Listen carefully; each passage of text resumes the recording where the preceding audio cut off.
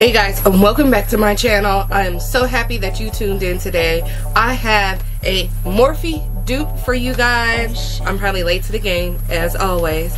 But I had to come back and show you guys what this palette looked like and show you some thoughts. So if you want to learn how to get this look right here, then let's get it popping.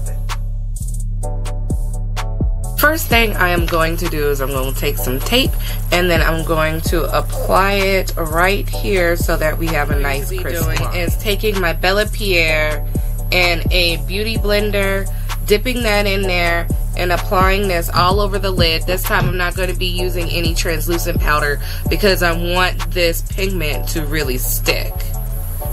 So the first color I'm going to be going into is this pink color right here and this is more of a dark pink color.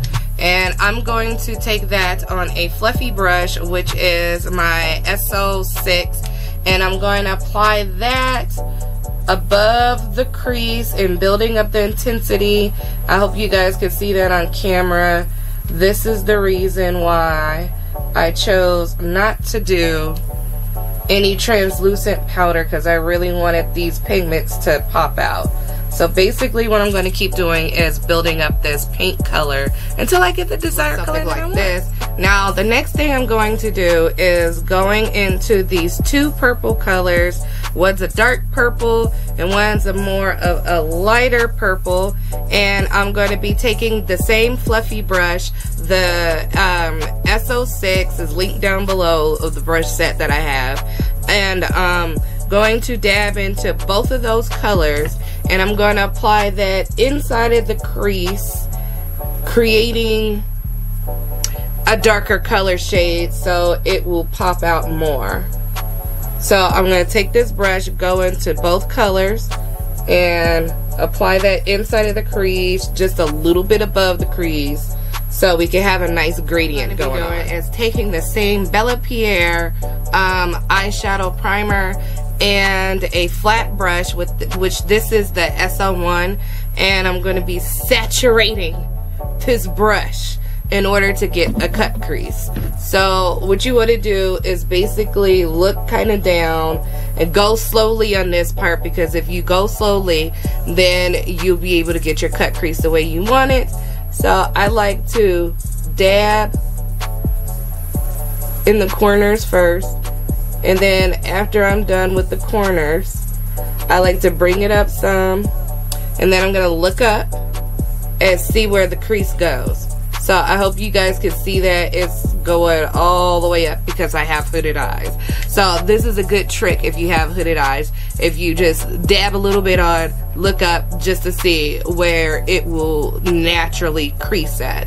So I'm going to go ahead and sketch this part out. You don't feel like you have much of the other color there as I didn't. I went ahead and went back into that same purple color and I went with an S40 brush which is basically a flat brush. So it, it kind of looks like this if you guys can see that. It's a flat brush flat. It's not an angled brush but it's it's got a flat edge. And I went ahead and traced around the cut crease to give more of a cut crease look. Now the next thing I'm going to do is I'm going to go ahead into this nice pink color over here and I'm going to take a flat brush which is my S20 brush and I'm going to go in there and fill in my cut crease with this pink color. And I like to dab it on because that's how I make sure that the pigment stays. You can stop here and you can add your eyeliner and lashes and call it a day. But I'm going to take it up a notch and I'm going to be using this and this NYX multitasker. Now, the thing about this is that when you're doing these two together, it is best that you have everything open and set to go because you're going to do this in steps. So I'm going to open up my glitter and my multitasker. I'm not like you guys needed to know that.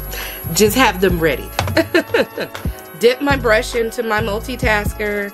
Apply a little bits in the corners. So forgive me if I'm not looking at you. Trying to concentrate.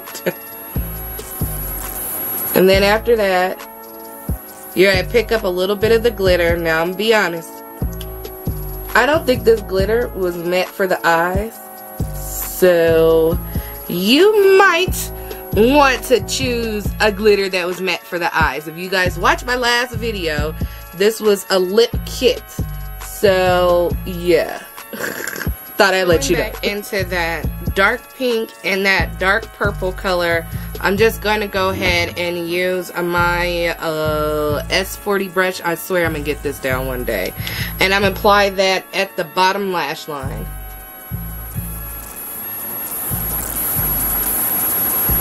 Now picking up that same dark pink, I'm going to apply that just a little bit below the lash line, kind of blending the two together. Now taking a smudge brush, I'm going to go into this lighter shade of shimmery pink and I'm going to take the smudge brush, put it right into that pigment and then that's going to be my inner corner highlight. Today's lips, I'm going to be using the L'Oreal Infallibles um, new line and this is um, a brown color. So I hope you guys enjoyed this tutorial. I wanted to do something inspired by Breast Cancer Awareness Month, which is the reasons why I chose all the pinks um, only is October Halloween, but it's also Breast Cancer Awareness Month. So I wanted to really embrace that and bring out a lot of the pinks in this look. Um, FYI, I just wanted to let you guys know. I don't think lit, this ain't lit. The, uh, what is this? this glitter is eye friendly. So don't do what I did and, use the glitter from the lip kit. I'm just letting you know before any of you guys try to recreate this look, please go get some cosmetic glitter that is made for the eyes. Uh, although in my opinion I don't think any glitter is made for the eyes but it sure is pretty though but do not use this I want you to go get eye cosmetic glitter all in all since I was never able to get my hands on the original palette I did some comparisons with this one that I found on Amazon and compared to the one through Morphe and it looks exactly the same I've compared swatches and everything like that. Um, I did not do swatches in this video because I, I mean, I don't know. I just didn't do swatches. I just figured you guys it wasn't interesting. You wanted to get right into the look. So if you like the swatches, you let me know down there and then I will start incorporating the swatches back into the video. I have a problem blending any of these colors. Um, they're actually very pigmented.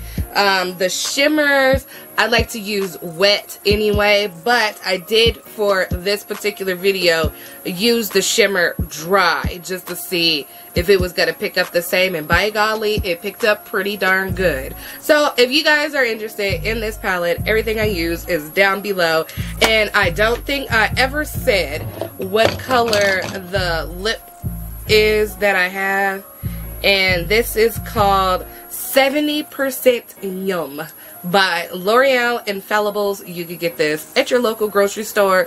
But if you're like me and everybody done went and bought it and so you had to order it online that is linked down below as well so please don't forget to rate comment subscribe and share. Share my tutorials sharing is caring. Sharing helps me out a lot and give this video a thumbs up. That lets me know that you like my content. And until next time I will see you guys in the next video